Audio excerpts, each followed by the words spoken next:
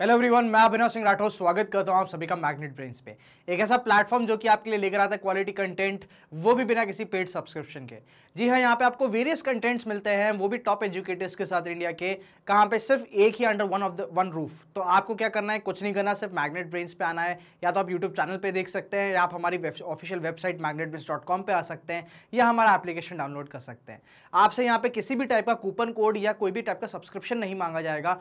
Total hundred free education dedicatedly Magnet Brain आप तक पहुँचा रहा है।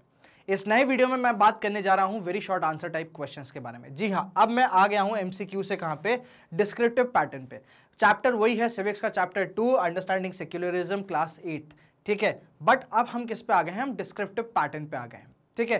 तो इस डिस्क्रिप्टिव पैटर्न के सबसे पहले हम समझते हैं क्वेश्चन के फॉर्मेट को तो जब हम क्वेश्चन फॉर्मेट की बात करते हैं या क्वेश्चन पेपर की बात करते हैं तो सबसे पहले टाइप का क्वेश्चन जो हमको देखने को मिलता है, वो हमको देखने को मिलता है एमसीक्यूज जो कि हो गया क्या? आपके मल्टीपल चॉइस क्वेश्चन अब सीबीएसई की गाइडलाइन ये बोलती है कि कम से कम 20 से 25 परसेंट क्वेश्चन जो रहने चाहिए, वो कैसे रहने चाहिए? आपके एमसीक्यूज रहने चाहिए। कितने? 20 से 25 परसेंट ठीक है? ये गाइडलाइन कहती है। हालाँकि इस गाइडलाइन को फॉलो करना मैंडेट स्ट्रिक्टली फॉलो करना मैंडेटरी नहीं है, ये थोड़ा रेशियो ऊपर नीचे हो सकता है। बट स्टिल इसलिए मैंने कहा है कि 20 से 25 परसेंट तो एमसीक्यूज आप क्या कर सकते हो? एक पर्टिकुलर पेपर में एक्सपेक्ट कर सकते हो, ठीक है? बट अब देखो सरकार ने आपके लिए चीज़ें सही कर दी है थोड़ी आसान बना दी। बट एज एन एजुकेटर या एज अ स्कूल एडमिनिस्ट्रेशन आप कह लीजिए या एज अ टीचर्स आप कह लीजिए, ये हमारा काम है कि आपको बेस्ट एजुकेशन दी जाए। भले ही वो अब आपके स्कूल में हो या आप यहाँ पे मैग्नेट रेंज पे हो, हर एक शिक्षक की यही आप कह सकते हो कि उम्मीद होती है या वो अपने आप से यही क्या करता है एक्सपेक्टेशन रखता है कि वो बेस्ट ऑफ़ एजुकेशन आपको दे पाए। तो इसमें अब एमसीक्यू में क्या करते हैं, हम लोग कर देते हैं थोड़ा फिर बदल जी हाँ एमसीक्यूज बना देते हैं थोड़ा टफ टफ बनाने के तरीके क्या है? एक दे देंगे हम असर्शन रीजन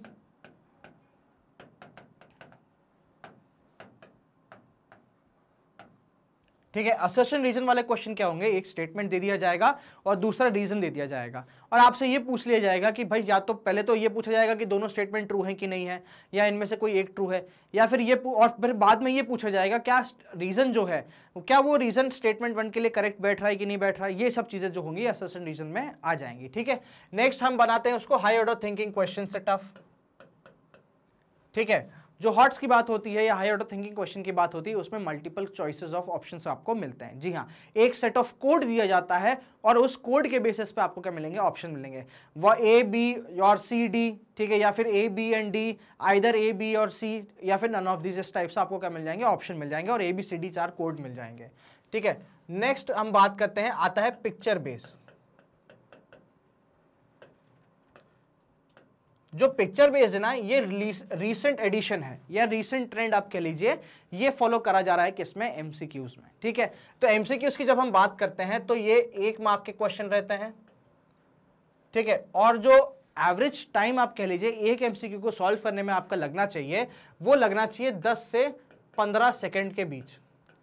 जी हाँ 10 से 15 सेकंड के बीच में आपका एक एमसीक्यू आंसर जो है, वो खत्म हो जाना चाहिए, ठीक है? अगर मैं बात करता हूँ 20 से 25 परसेंट के बीच में, भाई 40 मार्क का अगर आपका यूटी हो रहा है तो तकरीबन तकरीबन 10 से 12 मार्क्स के आपके क्या आएँगे? एमसीक्यूज आएँगे, और वो 10 से 12 मार्क्स के एमसीक्यूज जो हैं, वो कम से कम तीन मिनट एट मैक्स में क्या होना चाहिए? खत्म हो जाना चाहिए। बाकी टाइम आप टोटल डेडिकेट करोगे किसको?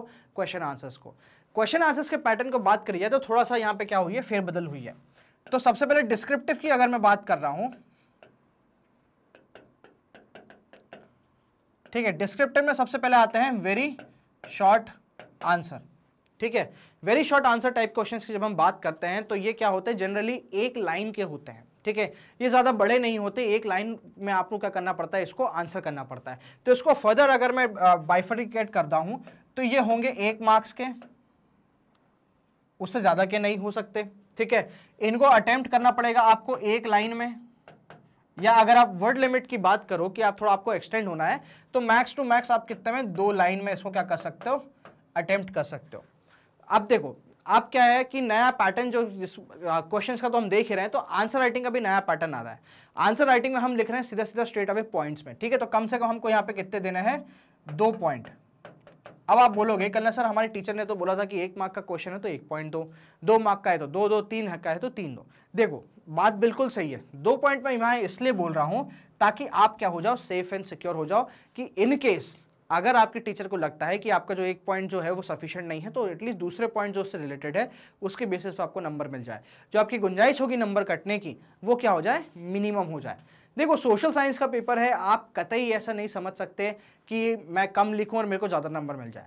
आप ये एक्सपेक्ट बिल्कुल मत करके चलना, आप सोशल साइंस का पेपर अटेम्प्ट कर रहे हो, आपको लिखना तो पड़ेगा ही, आप लिखने से भाग नहीं सकते। तो ये हैं very short answer type questions ठीक है? बाकी और जो क्वेश्चंस है, जैसे शॉर्ट आंसर टाइप हो गए लॉन्ग आंसर टाइप हो गए, वो भी हम डिस्कस करने वाले हैं बट फ़िलहाल इस ये वीडियो किसके बारे में वेरी शॉर्ट आंसर टाइप तो चलिए without any kind of further wait कुछ एग्जाम्पल्स देखते हैं आपके सामने। चलिए what do you mean by coercion, ठीक है? कोरियन।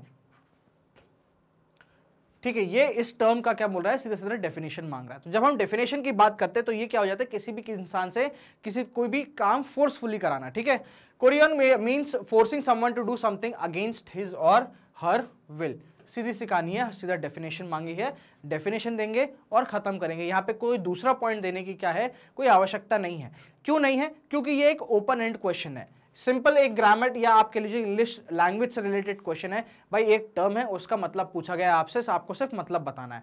अगर ये टर्म किसी पर्टिकुलर एस्पेक्ट से क्या होता रिलेटेड होता, या इसको किसी और पर्टिकुलर हिस्टोरिक घटना से जोड़ के या फिर आप पॉलिटिकल टर्म से जोड़ के दिया जाता, तब हम क्या करते हैं इसके दो पॉइंट लिखते। हैं बट फ़िलहाल क्यों? क्योंकि सिर्फ़ डेफिनेशन पूछ रहा है ओपन एंड क्वेश्चन है, ज़्यादा लिखने की ज़रूरत नहीं है।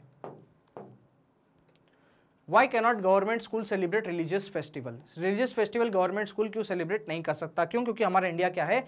एक सेक्युलर स्टेट है। तो government schools are institution of government and no government institution can promote any religion on its own सीधी सी कहानी है। यहाँ पे जा सकता आप ऐड कर सकते हो as India is a secular state ये भी हमने बता दिया। भाई, क्यों गवर्नमेंट क्यों नहीं कर रही? क्योंकि इंडिया क्या है? एक सेक्युलर स्टेट है। तो ये एक एस्पेक्ट ये हो गया आपका और दूसरा एस्पेक्ट आपका गवर्नमेंट स्कूल इंस्टीट्यूशन वाला आ गया। ठीक है? तो ऐसे आप क्या कर सकते हो? आंसर को कंप्लीट कर सकते हो या आप चाहो तो एक्स्ट्रा लिख सकते हो, नहीं तो यहाँ तक भी आंसर क्या है? अपने आप में कंप्लीट है।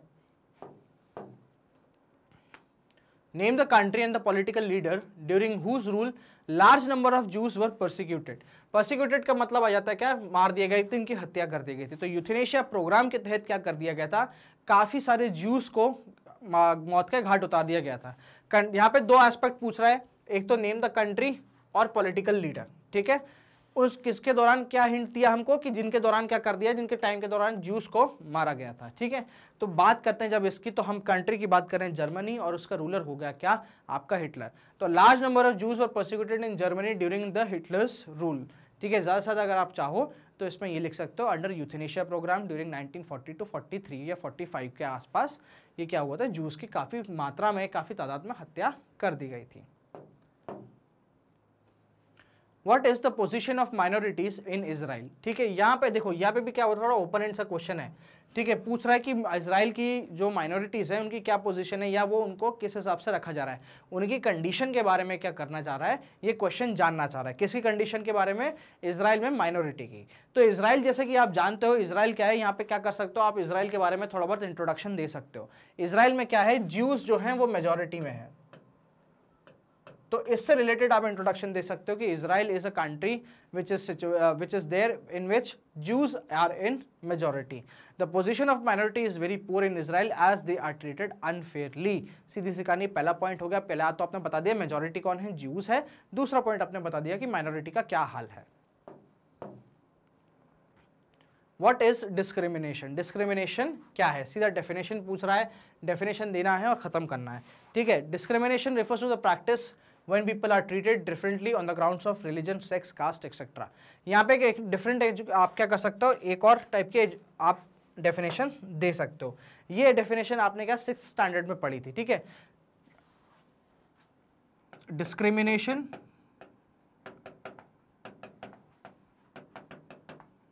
is the physical and behavioral output of prejudice and stereotype ये भी क्या कर सकते हो? आप इस पर्टिकुलर क्वेश्चन की ऐसे भी डेफिनेशन दे सकते हो कि डिस्क्रिमिनेशन अल्टीमेटली है क्या? ये एक फ़िज़िकल या बिहेवियरल आउटपुट है। आउटपुट का मतलब इफ़ेक्ट हो गया, ठीक है? क्या है ये? इफ़ेक्ट है। ऑफ़ किस चीज़ का इफ़ेक्ट है ये? अपने आप में प्रेजुडाइज और स्टीरियोटाइप का।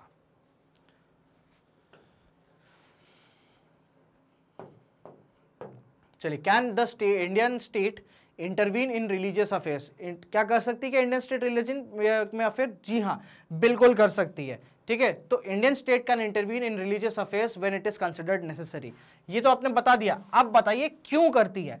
क्यों करती है? टू प्रोवाइड सोशल जस्टिस ठीक है? दूसरा पॉइंट डाल दो यहाँ पे example abolition of untouchability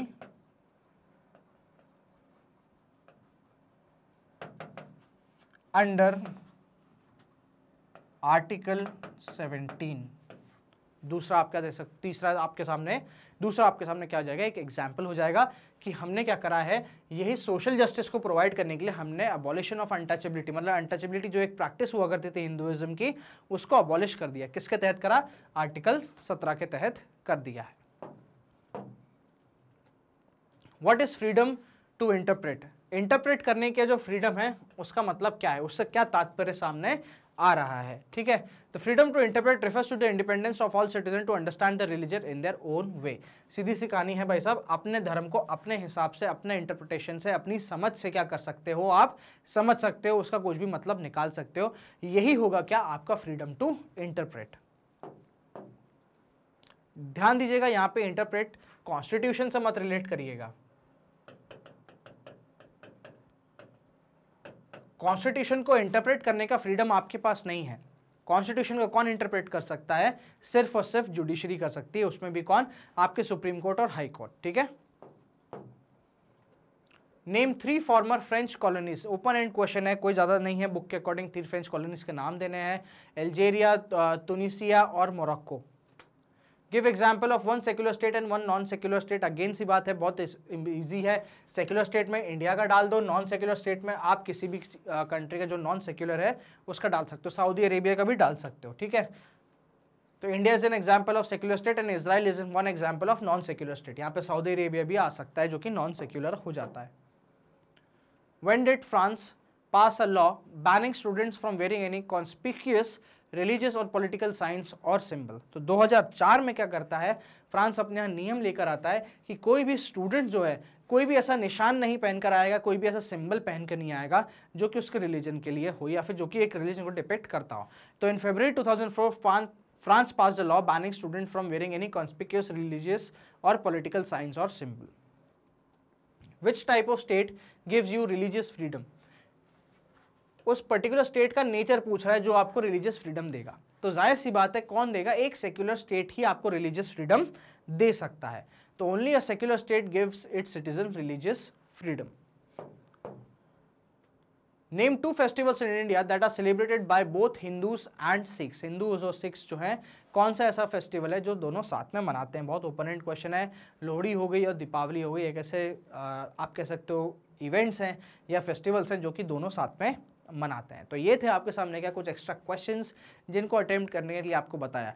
देखो, अब एक्स्ट्रा क्वेश्चन ज़रूरी नहीं है कि इतना ही है। आप क्या कर सकते हो? इनको डेली कुछ क्वेश्चंस निकाल निकाल के प्रैक्टिस कर सकते हो।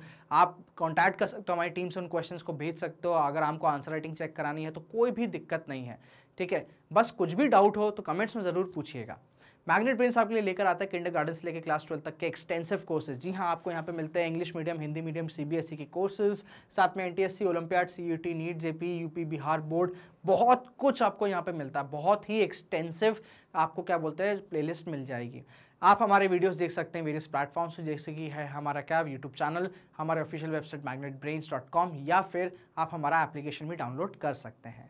एप्लीकेशन डाउनलोड करने पे या आप आप जो हमारे ऑफिशियल साइट से अगर वीडियोस देखते हैं तो आपसे कोई भी टाइप का कूपन कोड नहीं मांगा जाएगा total free education Magnet Brains आपके लिए लेकर आता है। एक बहुत ही डिफरेंट सी चीज़ हुई है दोस्तों, अभी रिसेंटली क्या हुआ कि बहुत से बच्चों ने हमसे ये पूछा है कि, सर, आप लोगों का जो कंटेंट है आपका हो गया, दूसरे टीचर्स का हो गया मैग्नेट ब्रेन्स का कंटेंट जो है, ये हमें कैसे मिल सकता है? तो मैग्नेट ब्रेन्स आपके लिए लेकर आया है क्या? हमारी बुक्स और ई बुक्स कुछ नहीं करना है ये जो बुक्स और ई बुक्स हैं, ये आपको अवेलेबल हो सकती है और इसमें बहुत ही एक्सटेंसिवली और कॉम्प्रिहेंसिवली कोर्सेज को डिज़ाइन करा गया है। M C Qs P Y Qs कुछ एक्स्ट्रा क्वेश्चन साथ साथ रीडिंग मटेरियल तो ऑफकोर्स आपको मिलेगा ही मिलेगा। तो कुछ नहीं करना है अगर आपको ये मटेरियल चाहिए तो लिंक जो है डिस्क्रिप्शन में जो लिंक दी गई है, उसको भरें प्रॉपरली अपनी डिटेल्स भरें and our team will get back to you on this manner बने रहिए हमारे सोशल मीडिया हैंगआउट्स पे, जो कि हैं फेसबुक टेलीग्राम इंस्टाग्राम और आपके ट्विटर पे। कुछ बिहाइंड द सीन और कॉमिक सीन्स के लिए क्या कर सकते हैं आप इन हमारे सोशल मीडिया हैंगआउट्स पे बिल्कुल आ सकते हैं। बने रहिए मैग्नेट ब्रेन्स के साथ चैनल को सब्सक्राइब करें बेल आइकन दबाएँ रेगुलर अपडेट्स के लिए और इस वीडियो को ढेर सारा प्यार दें लाइक और शेयर के साथ। Thank you so much for watching this video